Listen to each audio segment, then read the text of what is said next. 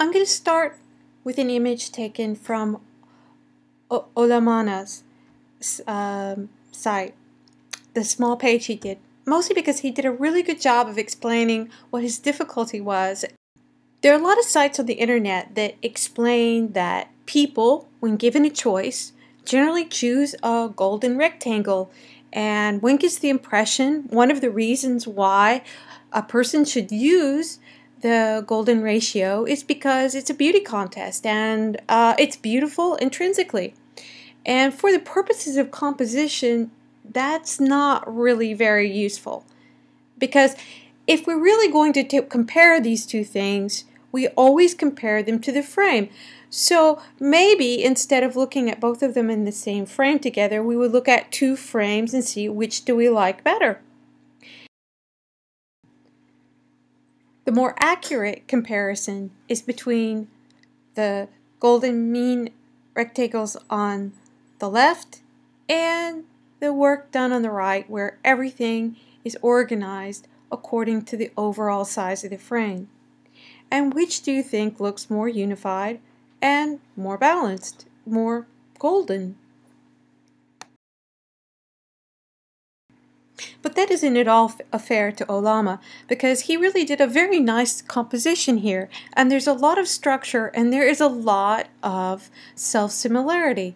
What he sees consciously is the rectangle up above but what I see when I look at it is the rectangle down below, something very different.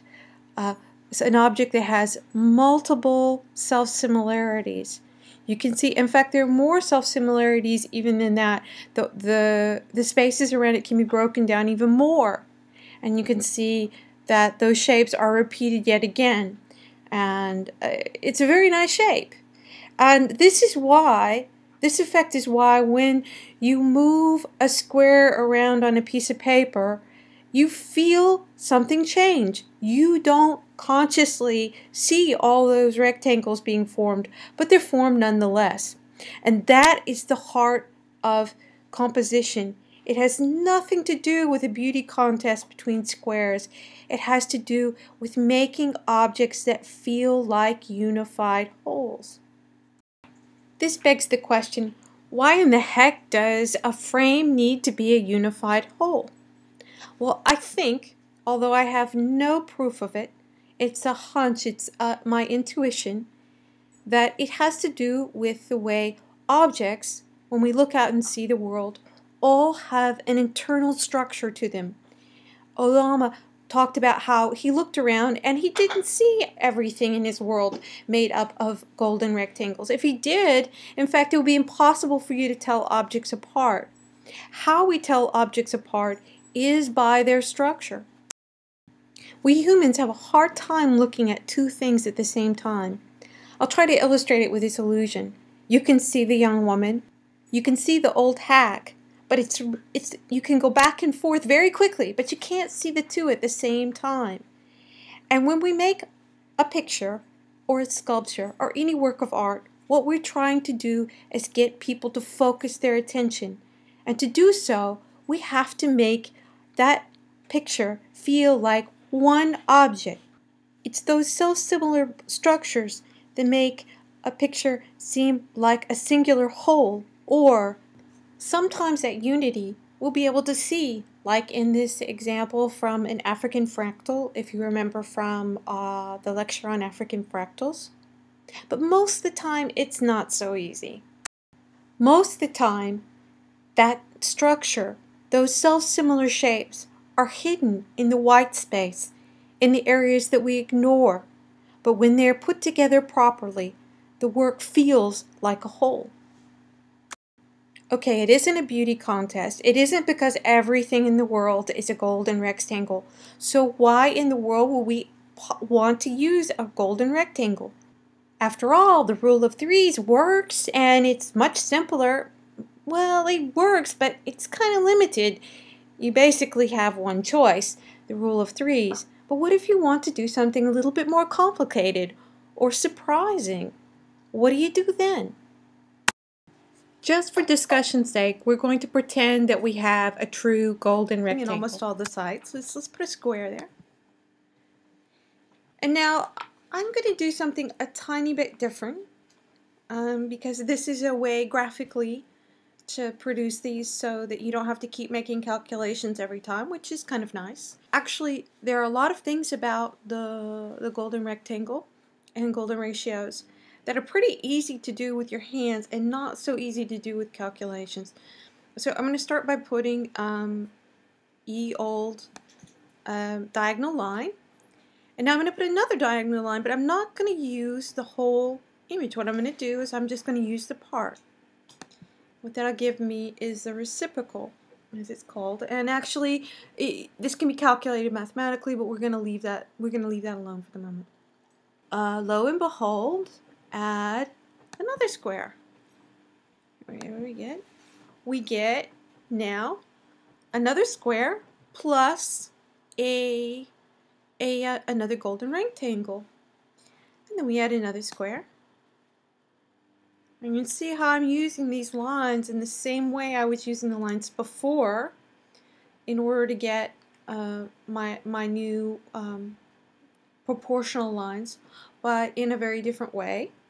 We have this one, and it's always amazing to me. Do this yourself, and hold down the control key so you know you're getting a square.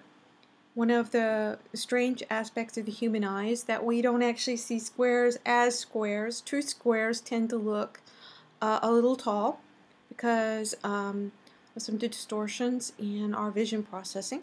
But uh, do the experiment, see that they're square. I've done this many times and it always has to be reproved to myself. Let's see we can come in gradually. Gets quite interesting, and we're going to stop there.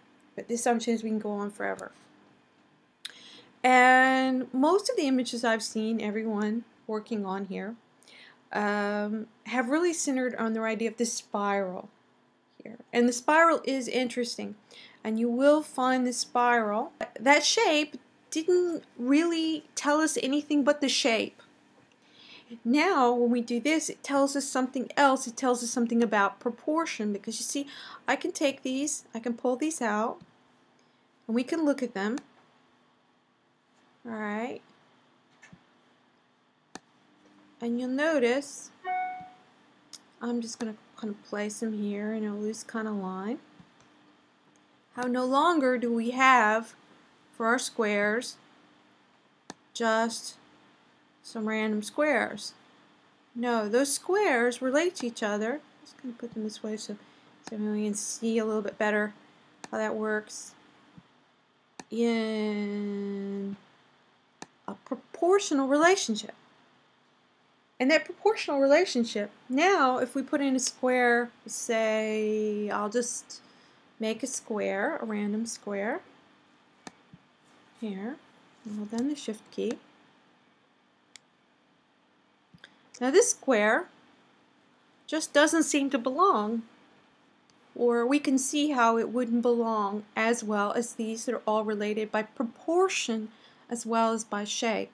So I'm going to get rid of this this blue guy because he's uh, he's coming up the works here. We can see how all these squares create a notion, a very dynamic notion of growth. And between any two of them, we get a sense of what happens when we move up and down this chain. And this is the amazing thing in the Nautilus shell. In each chamber, we're seeing this growth happen. And what it's capturing is that proportional relationship spiraling out. It doesn't have to spiral, but it's the proportion that we're really looking for that really makes this relationship so amazing. So uh, let's stop here and really think for a moment. It's about proportion to one part to the other, not necessarily just shape.